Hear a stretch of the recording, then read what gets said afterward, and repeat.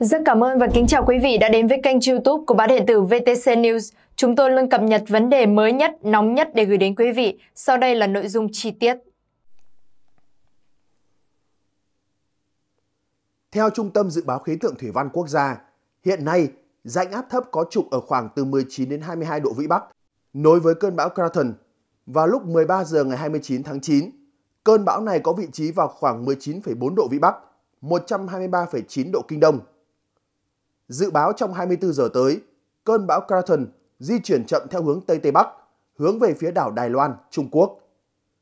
Vùng biển phía đông của khu vực Bắc Biển Đông, từ kinh tuyến 117 đến 120 độ Kinh Đông, có gió mạnh dần lên cấp 6, phía Bắc cấp 7, giật cấp 9, cấp 10, biển động mạnh, sóng biển cao từ 3 đến 5 mét.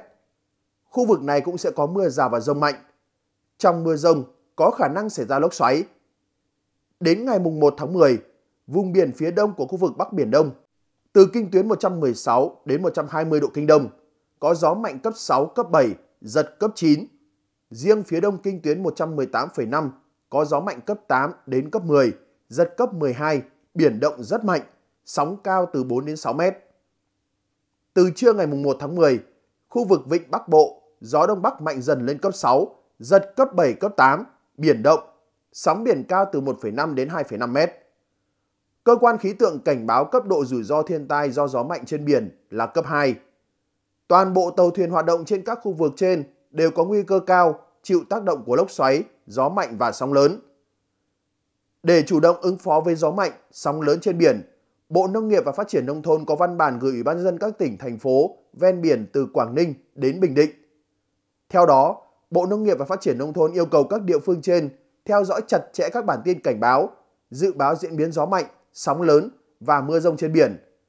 Thông báo cho thuyền trưởng, chủ các phương tiện, tàu thuyền đang hoạt động trên biển biết để chủ động phòng tránh, không đi vào khu vực nguy hiểm nêu trên và có kế hoạch sản xuất phù hợp, đảm bảo an toàn về người và tài sản, duy trì thông tin liên lạc nhằm xử lý kịp thời các tình huống xấu có thể xảy ra. Sẵn sàng lực lượng, phương tiện để triển khai công tác cứu hộ, cứu nạn khi có tình huống nguy hiểm. Trực ban nghiêm túc, thường xuyên báo cáo về Bộ qua Cục Quản lý Đê điều và Phòng chống thiên tai. Trong khi đó, theo Trung tâm Dự báo Khí tượng Thủy văn Quốc gia, ngày 29 tháng 9, ở phía Bắc có một bộ phận không khí lạnh đang di chuyển xuống miền Bắc nước ta.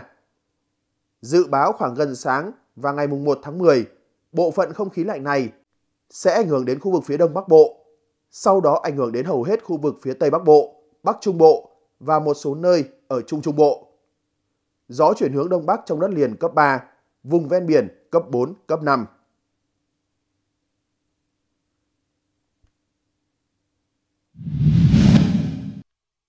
Trưa 29 tháng 9, ông Phùng Viết Vinh, Chủ tịch Ủy ban Nhân dân huyện Bắc Quang, tỉnh Hà Giang cho biết vào khoảng 10 giờ ngày 29 tháng 9, trên quốc lộ 2 đoạn qua xã Việt Vinh, huyện Bắc Quang, tỉnh Hà Giang, do mưa lớn, một quả đồi sập xuống, vùi lấp 4 ngôi nhà, một xe khách, hai xe con, một xe tải.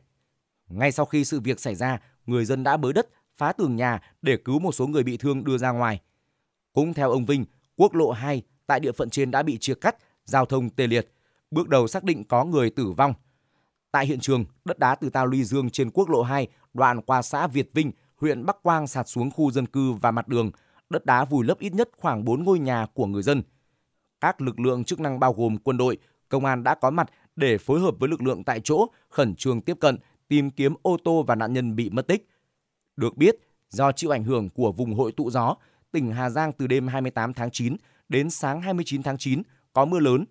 Theo Trung tâm Dự báo Khí tượng Thủy văn Quốc gia, chỉ trong 2 tiếng, tại xã Tân Lập, huyện Bắc Quang đã có mưa trên 155 mm. Sau đó khu vực này vẫn tiếp tục mưa, nguy cơ rất cao xảy ra lũ quét, sạt lở đất ở các huyện Bắc Quang, Hoàng Su Phì, Quang Bình, Vị Xuyên. Sáng 29 tháng 9, tại bến sông thuộc địa phận khu 5, xã Hương Nộn, huyện Tam Nông, bến đối diện là xã Phùng Nguyên, huyện Lâm Thao, Lữ đoàn Công binh 249 thuộc binh chủng Công binh đã lắp đặt cầu phao Phong Châu. Cho tới 10 giờ 36 phút cùng ngày, Lữ đoàn Công binh 249 chính thức hợp phao cầu long PMP 60 tấn qua sông Hồng. Việc hạ thủy cầu phao được tiến hành khẩn trương, cẩn trọng, an toàn nhằm bảo đảm nhu cầu đi lại của người dân địa phương và phục vụ phát triển kinh tế xã hội nơi được lắp đặt cầu phao cách vị trí xảy ra sự cố sập cầu Phong Châu khoảng 400 mét về phía hạ lưu sông Hồng.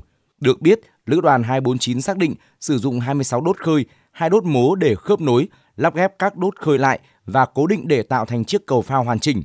Sau 90 phút phát lệnh lắp cầu phao, các chiến sĩ lữ đoàn 249 đã hoàn thành việc lắp cầu. Sau khi lắp đặt xong cầu phao sẽ thông xe kỹ thuật, kiểm tra, hiệu chỉnh, hoàn tất các công đoạn.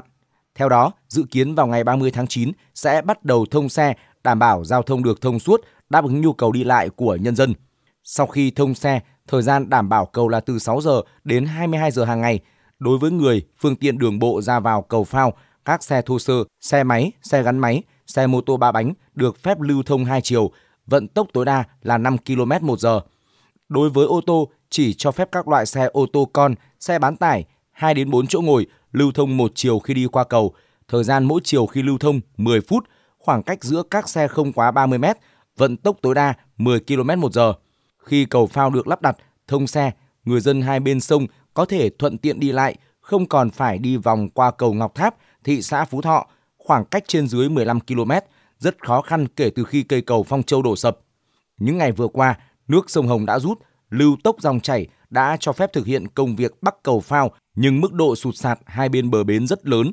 Lữ đoàn 249 đã phải gia cố trên 11.000 mét khối đá ở hai bến và đường lên xuống.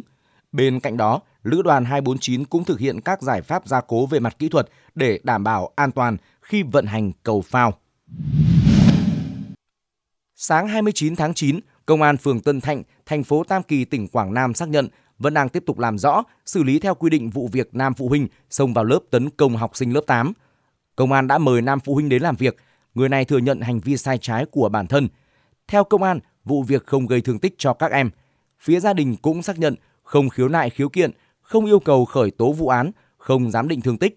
Đồng thời gia đình hai học sinh bị tấn công cũng không yêu cầu xử lý vụ việc. Tuy nhiên, Công an phường Tân Thạnh vẫn hoàn thành các thủ tục tham mưu Công an thành phố Tam Kỳ xử lý theo quy định. Về phía gia đình học sinh, phụ huynh cũng nhận định hành vi của con mình là sai khi gây gổ với bạn và nam phụ huynh kia tấn công các em là vì bức xúc.